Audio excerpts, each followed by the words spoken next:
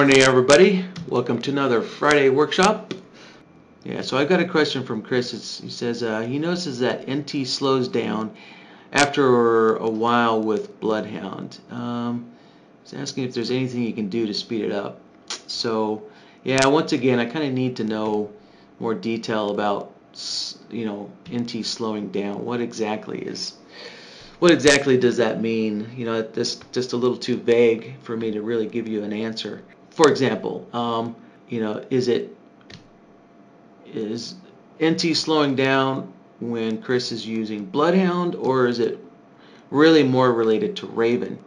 Um, so I can tell you kind of a as a little tip here. This is kind of off topic, but um, when you're running a strategy in NinjaTrader, so for example, um, in the strategy section right here, right? So if you're running uh, a strategy such as Raven, uh, NinjaTrader Trader can, actually not can, but Ninja Trader will start to slow down when when Ninja is starting to execute trades. Uh, so when Raven or some other strategy starts executing trades, um, after a while, Ninja will start to slow down when its database gets too full. So let me kind of give you an example here. Right, so if we take a look, um, ah, shoot, I don't have any executions in here, but basically when you look at your execution and your order tabs, um, right, all this data here for the executions and stuff and your orders, that's all stored in Ninja's database.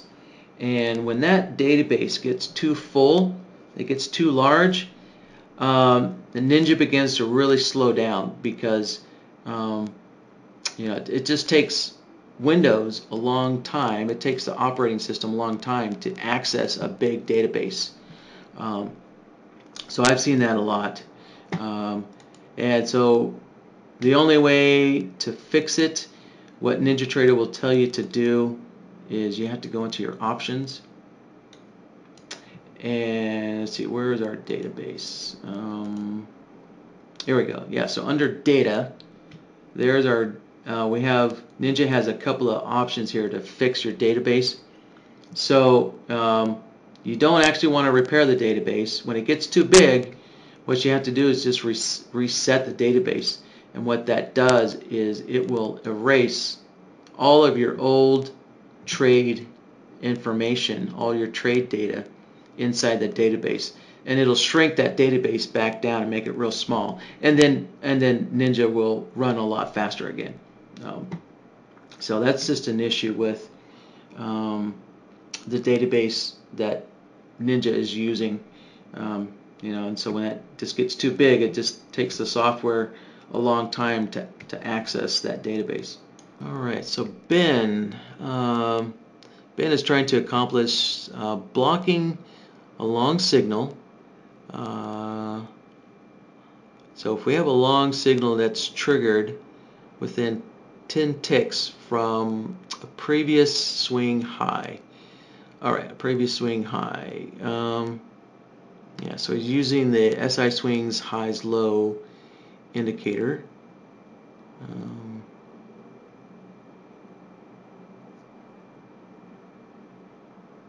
and of course the opposite condition would be to block a short signal uh, from triggering if within 10 ticks of a previous swing low. Yeah, so what Ben is trying to do is um, is Ben doesn't want to take a trade going into resistance or support. Um, so that support resistance being the swing high or the swing low. Let's see. Um, all right, so a previous swing high. Okay. Yeah. All right, Ben. So let's see. Let me get. Uh, the uh, swing high-low indicator on here.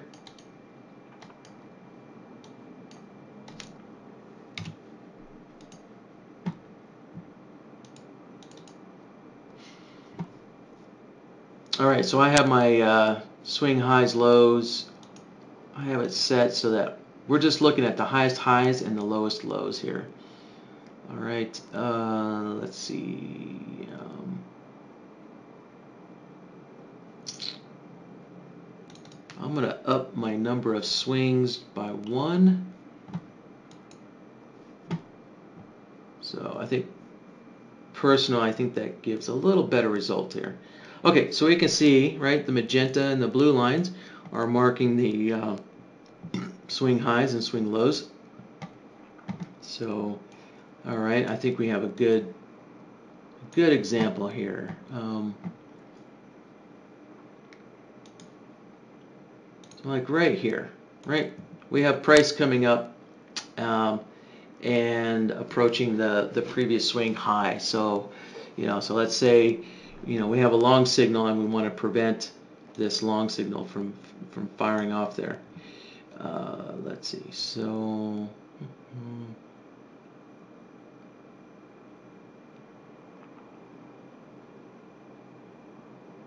All right, I'll just kind of create a very simple uh, uh, trade signal here.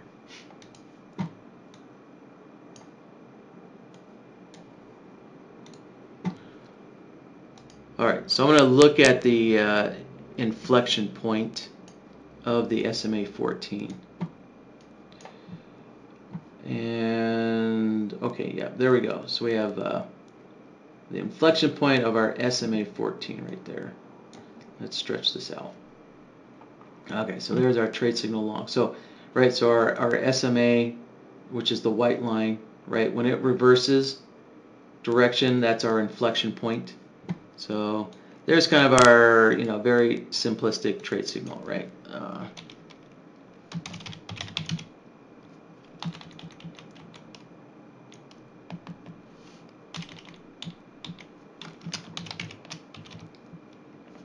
Okay, so our goal is uh, we want to make sure that uh, we're more than 10 ticks away from our uh, resistance line up here, right? So the blue line is our higher, our most recent higher high. So we want to block this trade here. So, um, so that, uh, let's see, Ben was watching a video that was using the comparison solver. Um, so let's see, yeah, we could use the comparison solver, um, but I would suggest using the support resistance solver. The support resistance is built for this exact uh, purpose. So let's take a look at this guy.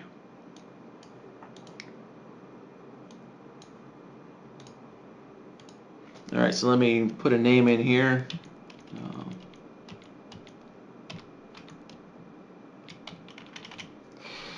All right, so we're looking at the uh, the swing high high lows. All right. Actually, I'll be a little more specific. We're actually looking at the highest highs and the lowest lows. So, all right, and so with our support resistance solver, um, we want to use headwind mode. So when when we're trying to block trades going into support resistance, right? So blocking a trade going into support resistance. That's headwind mode, right? So if if if uh, we're taking a trade into uh, resistance up here, then consider that, think of that as like a headwind, right? So price is running into a headwind uh, when it's when price is running into a resistance area, right? That think of that as headwind.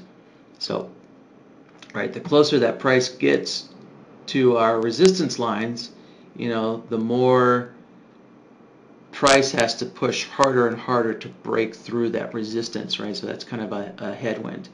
So we're going to use headwind mode. Um, and next we're going to use an indicator, right? So we're using the swing highs lows as our as our support resistance indicator. So let's turn this on, set that to true. All right, so now we can see the indicator section opens up. So now we'll change our indicator. So let's go down here find the swing highs, lows, right?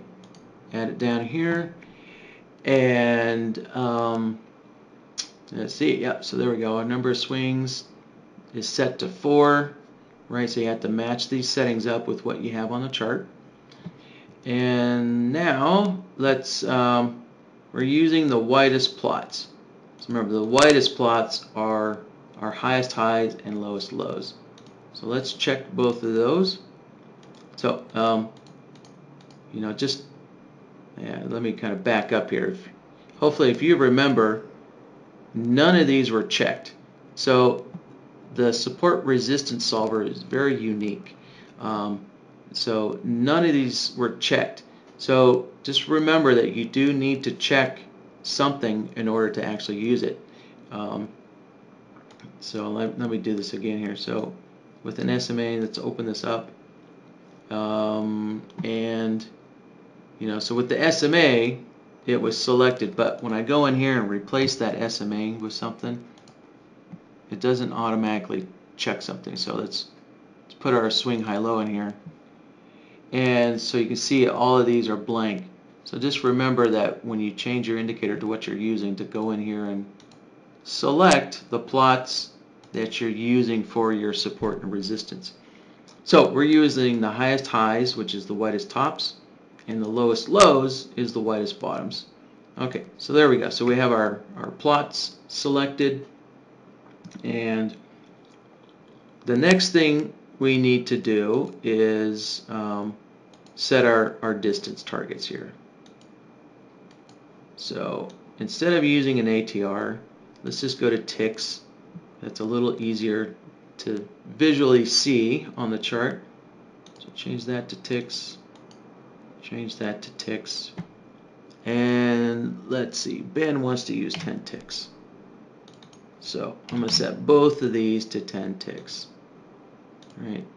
So I don't want to go into a lot of detail because there's there are videos that explain how to use the support resistance solvers. But once again, we have an ideal distance and we have a minimum distance.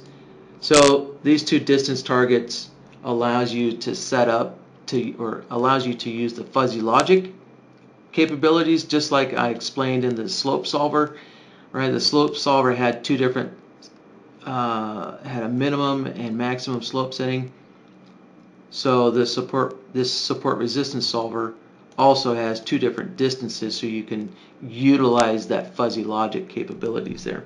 Um, but we're so we're just gonna um, set a, a fixed distance of 10 ticks. Keep it simple. All right. So let's before I continue, let's take a look at our trade signal. So let me mark it there. Right, so just so we're clear, right, this is our trade signal here on this bar. So now let's take a look at our support resistance solver and how this is set up. So the way, so the support resistance solver is used as a filter or as a permissive, uh, to be more exact. It's a permissive. So, you know, what a permissive, the way a permissive works uh, basically, you know, permissive, short for permission. So essentially, our support resistance solver gives permission, um, you know, or gives a permissive to take a trade when you're using it. Um, so the way a permissive works is whenever you see a long output, so you see the long output down here, so this long output would, and that will allow a long trade to take place. Now these two bars, let's see, let's grab here. So these two bars where there's no long output, that means no long trade, no long signal can get through, would, would be allowed through. So in other words, this effectively blocks a long signal. And when we do have a long output, that allows a long signal.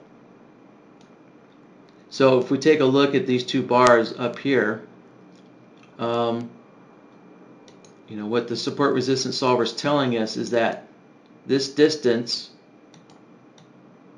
this distance is less than 10 ticks. And so definitely this distance is also less than 10 ticks. Now eventually price breaks through. Right, so price breaks through here. Let me draw my arrow down here. Price breaks through.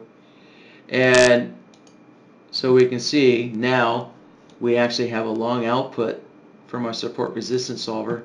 And that's because price broke through our resistance line up here. And and basically there's no resistance above it. So if there's no resistance above it, then you're free to take a long trade if you want. You know. So that's how the support resistance solver works is it gives you a permissive or permission to take a trade, right? So like down here, for example, um, let's see, yeah, so down here, yeah, let's take a look at these, these two bars here. Right here. So we can see we have this magenta, right, this magenta line here representing the previous lowest low swing point. And if we look at price, right, price is just barely above that swing low. So the support resistance solver has no, it's right, it's absent of a short output. So that means you couldn't take a short trade on these two bars because they're too close to our, you know, our detected lowest low. So, and then the next bar over here, basically what happens is a new low point was made. So our lowest low adjusts, and but price moved up, and now price is far enough away from our low point that we could actually take a short trade if you know if one if one fired off right? So now basically all of these bars you're you would be all these bars have a permissive to take a short trade um, to basically effectively take a short trade into our our uh, swing low point there. So that's uh, Ben so that's all you need to do is just add this support resistance solver.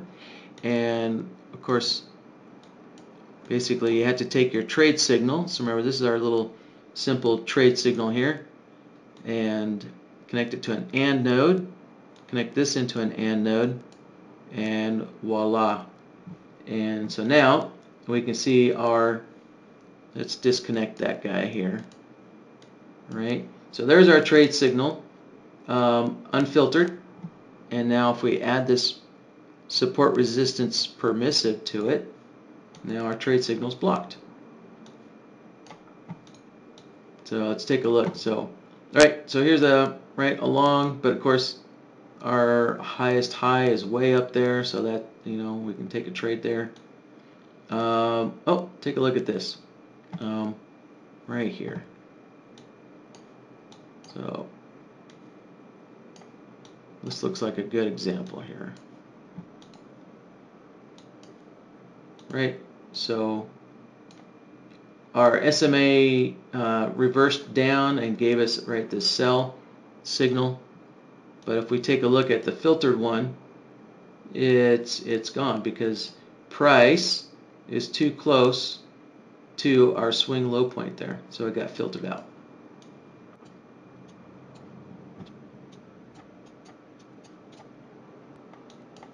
Alright, so there's a, another signal. And there's another signal. So let's take a look at the filtered ones. And yeah, so they both got filtered out because they're just, uh, the closing price is too close to our swing points here.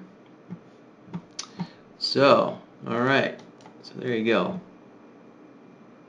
Let's see, let me just uh, I guess tell you guys about a little, uh, give you guys a reminder here uh, on our website.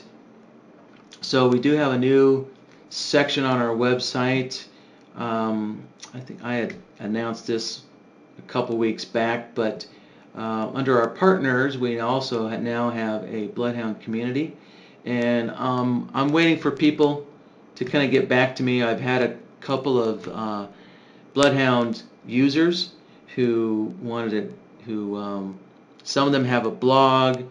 One of them wants to set up a uh, kind of a, a, a Big Mike's, you know, uh, question and answer forum type deal for Bloodhound users. Um, and so, the, you know, so they're not actual partners of ours, but you know, but they are people who um, are using Bloodhound and kind of want to help others and and and so forth. So um, I've only got two people on here. Basically, I just have a link to uh, the Big Mike's link to our Bloodhound section up on Big Mike's. Um, and we do have one company up here, uh, Remick. So this is a unique gentleman who's up in Canada, but he he uh, speaks uh, a foreign language. Let's see, I think can't remember which country he came from, but I think it was one of Russian, one of the Russian satellite countries he came from. Uh, you know, so he speaks a oh there we go Hungarian. Ah, great. Yeah, so he speaks Hungari- Hungarian and German. Um, so he's kind of out there to help Bloodhound users uh, who need help in uh, Hungarian and German language. Uh, and we should, there's at least, uh, I think, four other people who I'm waiting to get a res- response back from on there. So, uh, let's see. Um, what other? Let me see if there's some other kind of tips and tricks. Um, yeah, let me show you some new, some other, some new pages that have been added. So if we go to Learn Bloodhound, right, brings us to the documentation page. So I have revamped some uh, some new pages here to give you guys some information, right? So just a kind of quick overview, right? So we have a, a video section. Um, we have a, a, a ordered kind of learning uh, lesson structured uh, to learn Bloodhound. So you can go through all three of these pages and it'll step you through some videos uh, one at a time um, to uh, teach you how to use Bloodhound. Um, and then down here in the Bloodhound reference, right, this is just the, uh, the documentation on each of the Bloodhound solvers, uh, the logic nodes, and the function nodes. But further down, um, right, um, we've got uh, documentation on how Chameleon works and the SI swings and the swings highs lows. Right, there's some examples and uh, an explanation of how those indicators work. Uh, and then down here, I revamped um, I revamped the um, third-party indicators that don't play well with Bloodhound. So basically, this is uh, let's see if I click on that. Yeah. So this is a list of indicators that have that don't work with Bloodhound or have known issues um, with Bloodhound. So um, basically, I get this list from you guys because um, there's no way for us to test all the indicators out there, especially indicators that you have to pay for.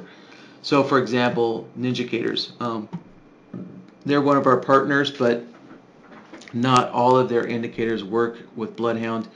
So there are some indicators here that um, that uh, I have been able to identify that aren't currently working with Bloodhound.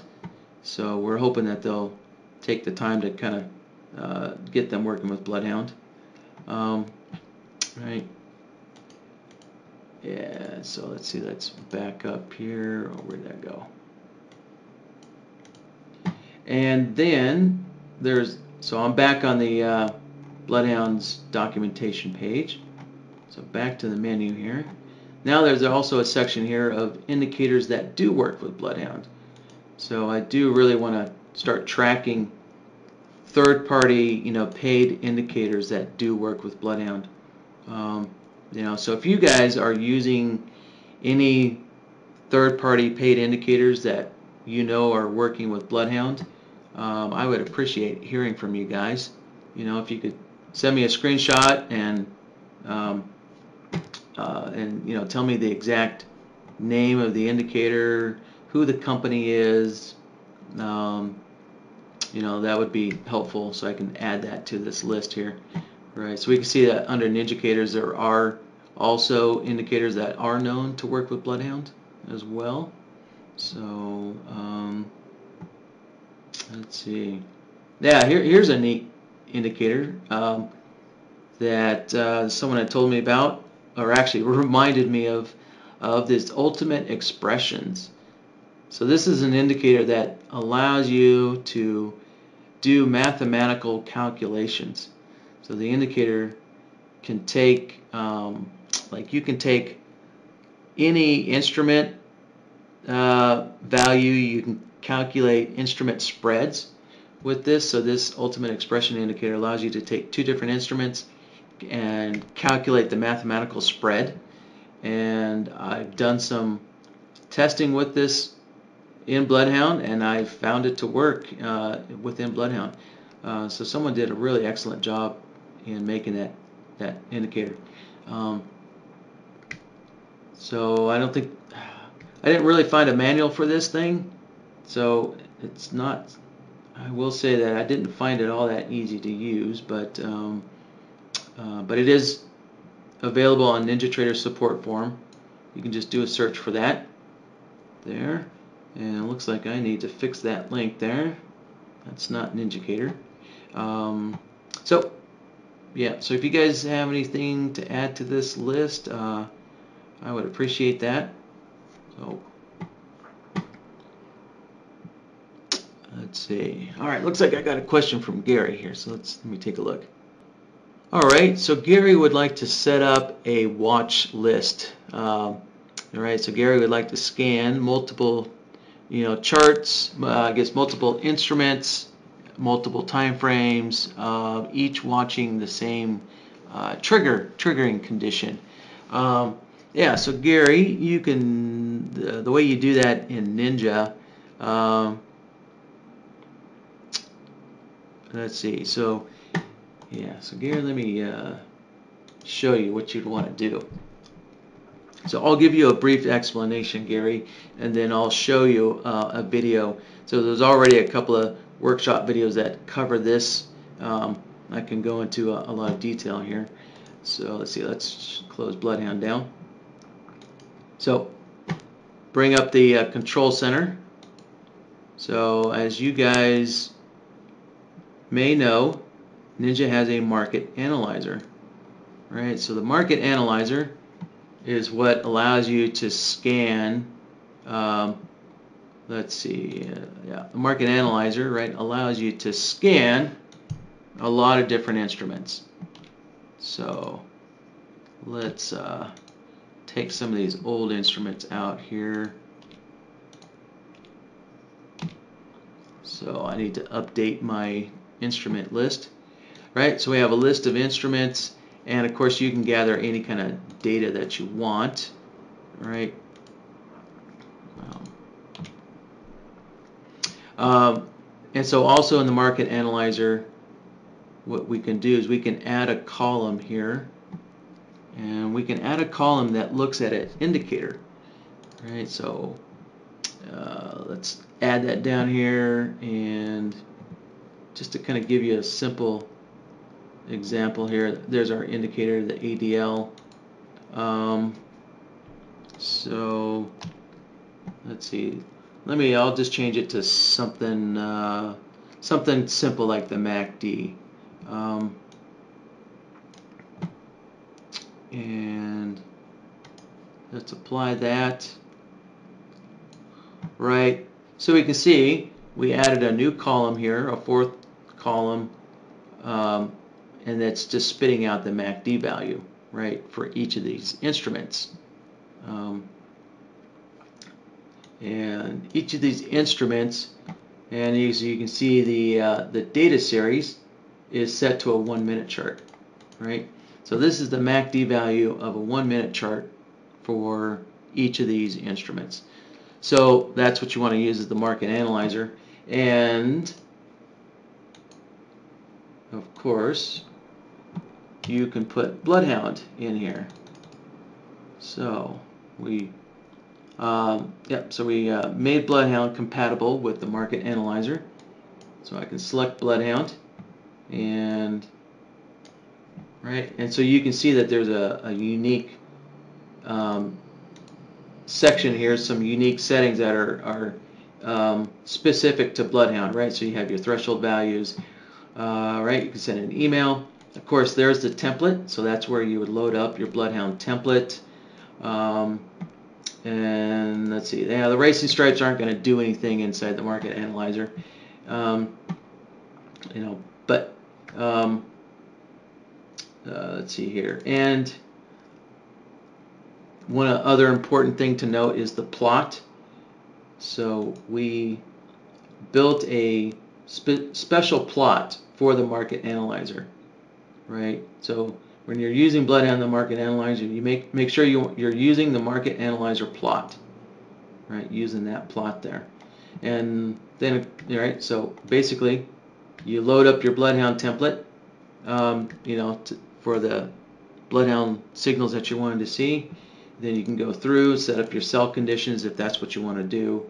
Um, and so when you're using Bloodhound in the market analyzer, right, instead of seeing values like the MACD, you'll see ones and zeros primarily, right? Most people's Bloodhound signals usually output a one or a zero. And so that's what you'll see is you'll see the Bloodhound's output value in the market analyzer here. Um, let's see, so let's close that. Um, and all right, yeah. So in the market analyzer, if you get a, a if you get a long signal, you know, basically the market analyzer will give you a positive one value. And if you get a sell signal, right, if if Bloodhound generates a sell signal, in the market analyzer, you get a negative one value there. So, um, so to kind of go into more depth here, uh, Gary, let me show you a video, and you can watch this video whenever you have the time. Uh, so let, we'll just do a. All right, so I'm uh, I'm at YouTube right now, right, guys? So I'm at YouTube, and I'm using the search tool so you just type in the word Bloodhound Workshop. Uh, make sure you do include blood workshop, otherwise it comes up with a lot of other bloodhounds. And then after Bloodhound Workshop, put in the, the thing that you're looking for. So um, so we'll put in the market analyzer. And um, there we go. First one. Uh, First one on here, using the market analyzer. So I, I know there's yeah there's going to be a couple of videos up here already using the market analyzer. Um, let's see.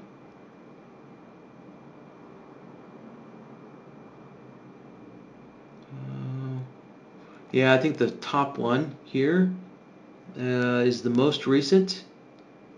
Yep, so it's probably going to be the best one. Um, and then the second one down here, uh, yeah, it looks like Daniel Rowe had uh, done some demonstrations on using the market analyzer. Right. Uh, let's see. And I know there's some other videos that have the market analyzer um, as questions in them, but this first one, I think this is the one where that was my primary focus for the workshop was using the market analyzer. So, all right, Gary. So there you go. You can just watch that at uh, whenever you at your convenience there. All right. Um,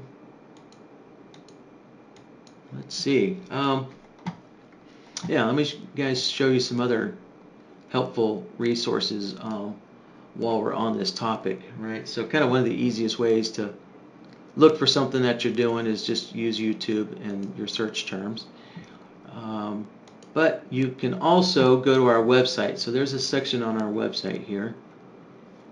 So let's go back to our website. So there we go. So if we go to support, go down to learn, and over here, here's um, training workshops, right? So we have a list of training workshops. I'll click on that. And this has a list. So we started keeping a list about uh, a little more than six months ago. Uh, towards the end of last year, uh, we started keeping a, a detailed list. Um, aside, I mean, there's also, right, in, in, in YouTube, um, you know, in YouTube, if you click on a video, yeah, let me turn that off.